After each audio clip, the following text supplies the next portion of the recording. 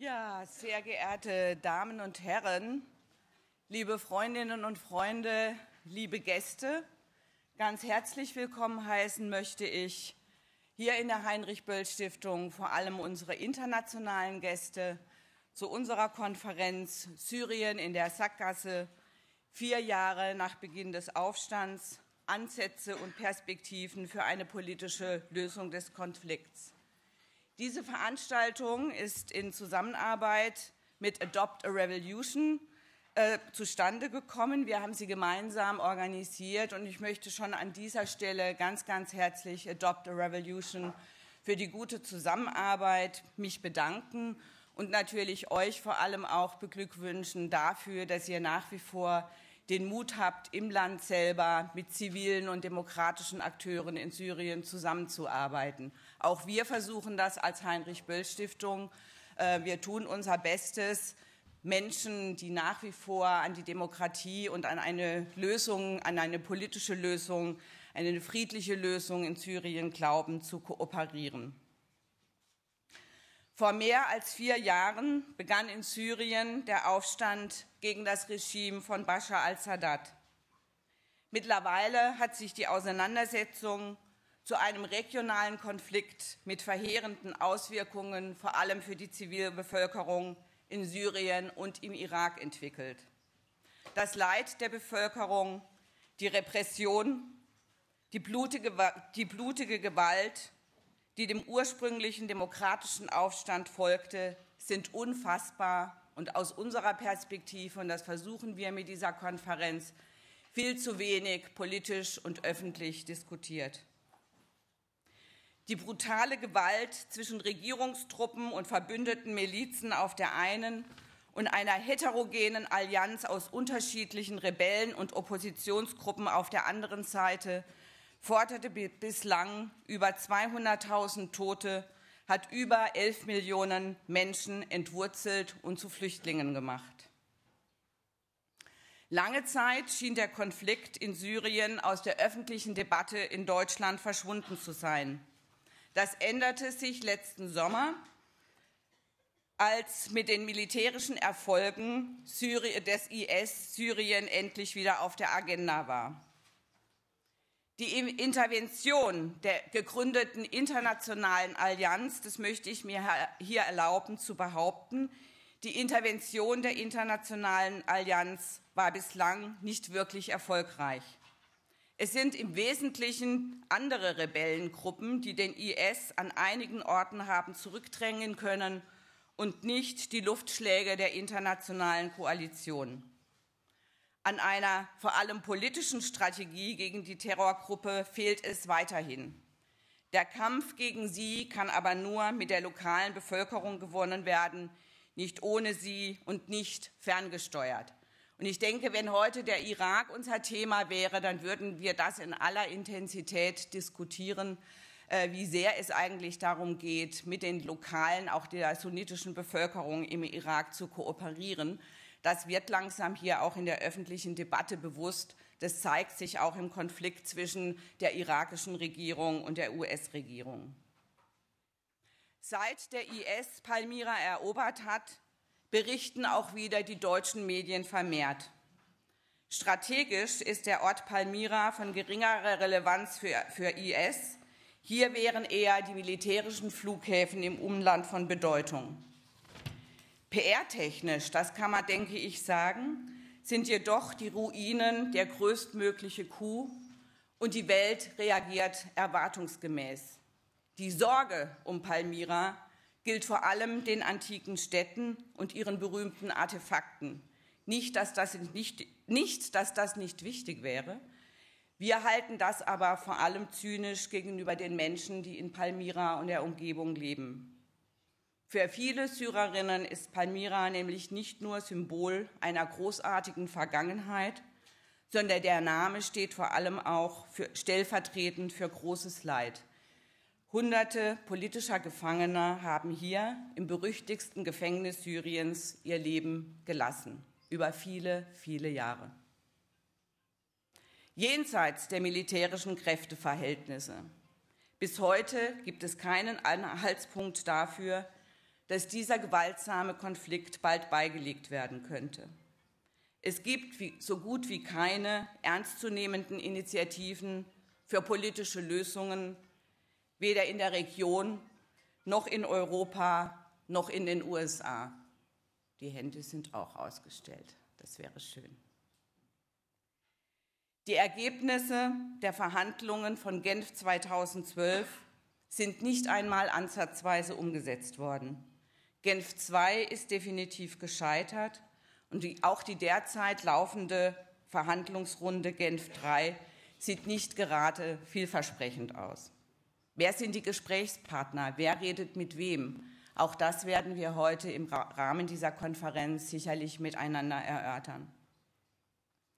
Der UN-Sicherheitsrat hat in seiner Resolution 2139 im vergangenen Jahr unter anderem ein Ende der Fassbomben gefordert. Vor drei Monaten hat der Sicherheitsrat angedroht, den Einsatz von Chlorgas in Syrien zu ahnden. Bis heute, auch das wissen wir leider zu wenig über die Medien, bis heute wird fast täglich Chlorgas eingesetzt und doch gibt es so gut wie keine Diskussion keine öffentliche Berichterstattung und vor allem keine politische oder militärische Ahndung. Die internationale Gemeinschaft hat, so wirkt es zumindest auf mich, keine Anstrengungen, wirklichen Anstrengungen, Anstrengungen unternommen, zu einer politischen Lösung des Konfliktes beizutragen. Der Fokus des Westens, ich sagte es schon, richtet sich stattdessen vor allem auf die vornehmlich militärische Bekämpfung des IS der als Hauptgefahr für die Stabilität der Region und die Sicherheit Europas und Amerikas ausgemacht wird. Diese Priorisierung, meine ich, sollte wenigstens hinterfragt werden, denn sie ignoriert komplett die Ursachen und die Genese des Phänomens des Islamischen Staats.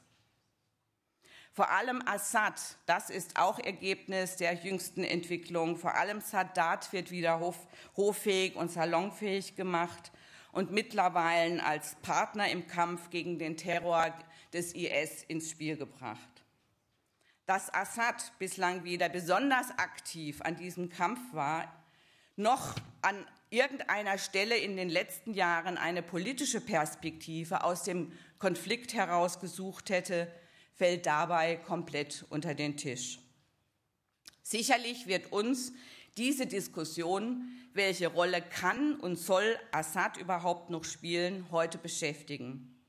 Mit Assad verhandeln heißt allerdings, von wem zu ignorieren und zu missachten, von wem die Instabilität ursprünglich ausging und vor allem, wer verantwortlich ist für die meisten Opfer, äh, für die meisten zivilen Opfer in Syrien. Mit Assad verhandeln ist zudem eine Demokratie und menschenrechtspolitisch sehr unkluge An- und Absage an die Kräfte der moderaten syrischen Opposition, nämlich an diejenigen, die am stärksten unter dem Terror des IS leiden und vor allem auch unter den Angriffen des Regimes. Und diese syrische Opposition, äh, die Moderate nämlich, sollte unsere Solidarität erfahren, sollte unser Partner sein. Abgesehen von der Betroffenheitsrhetorik die regelmäßig nach besonders schlimmen Gewaltakten von IS, dem Regime oder anderen Rebellengruppen bemüht wird, gibt es leider weder im politischen Raum noch in der Öffentlichkeit ausreichende politische Debatten, die auf eine nachhaltige Lösung des Konflikts in Syrien abzielen. Mit unserer Konferenz wollen wir genau das, öffentliche und politische Diskussionen rund um Syrien und politische Lösungen wiederbeleben und wir wollen auch, das ist die Hoffnung, mit dieser Konferenz Impulse geben und den ein oder anderen Ansatz für eine Lösung des Konflikts aufzeigen. Unser Anliegen ist es besonders, und das teilen wir mit Adopt a Revolution, unser Anliegen ist es besonders, zivilgesellschaftlichen Akteurinnen und Akteuren aus Syrien eine Stimme zu geben. Sie sind für uns der wichtigste Transmissionsriemen für Analysen und Einschätzungen aus Syrien und der Region. Unsere Partner und Partnerinnen brauchen unbedingt Plattformen für politischen Austausch und Verständigung. Sie sind es, die letztlich politische Entwicklungen in ihrem eigenen Land positiv beeinflussen können. Und wir wollen eben genau diese demokratischen, moderaten Akteurinnen und Akteure stärken. Und ich hoffe, dass auch die, diese Botschaft von dieser Konferenz gehört wird. Ich freue mich deshalb heute auf diese Konferenz. Sie soll dem Verstehen der komplexen Situation in Syrien dienen. Wir wollen fragen, mit welchen Akteuren wir es vor Ort und in der Region zu tun haben. Wir möchten deren Interessen nachgehen und wir möchten vor allem auch hier in Deutschland etwas davon erfahren, wie die Lebensrealität der Betroffenen in Syrien eigentlich aussieht unter Bedingungen von mehr als vier Jahren Krieg, Bürgerkrieg, Terror, Repression, Gewalt. Wir wollen mit dieser Konferenz konkrete politische Handlungsansätze ausloten und vor allem auch danach fragen, welche Optionen der berühmte Westen denn überhaupt hat, welche Handlungspotenziale gibt es für regionale und internationale Akteure. Wir möchten natürlich wissen, ob es überhaupt äh, denkbare und auch umsetzbare Handlungsoptionen für die internationale Gemeinschaft gibt. Wir wollen, ich habe es schon gesagt, diskutieren, welche Rolle Sadat überhaupt spielen kann. Und es geht uns hier auch auf dieser Konferenz darum, uns auseinanderzusetzen, wie wir mit den vielen Millionen Flüchtlingen aus Syrien umgehen, und zwar nicht nur in der Region, sondern vor allem auch hier in Deutschland und Europa. Dass wir hier mehr tun müssen, glaube ich, nehme ich an, ist der Konsens auch hier dieser Konferenz. Ich möchte Ihnen und uns eine trotz des traurigen Themas und des Anlasses fruchtbare und ergebnisorientierte Debatten wünschen. Ich freue mich auf diese Konferenz. Ich möchte mich bei allen, die zum Entstehen dieser Konferenz beigetragen haben, vor allem an unser Nahost-Team, äh, Birgit Arnold und ähm, Herr Baumann, äh, ganz, ganz herzlich, Bauke Baumann, ganz, ganz herzlich danken bei Adopt a Revolution, bei allen Referentinnen und Referenten. Und ich glaube, wir haben ein Angebot an diesem Tag für Sie zusammengestellt, was uns hilft, nicht nur solidarischer miteinander zu werden, sondern auch Impulse zu bekommen und Perspektiven inmitten einem Kontext, der sehr, sehr viel mit Hoffnungslosigkeit leider zu tun hat. Ich gebe jetzt weiter an Ferdinand Dürr von Adopt a Revolution und bedanke mich für Ihre Aufmerksamkeit.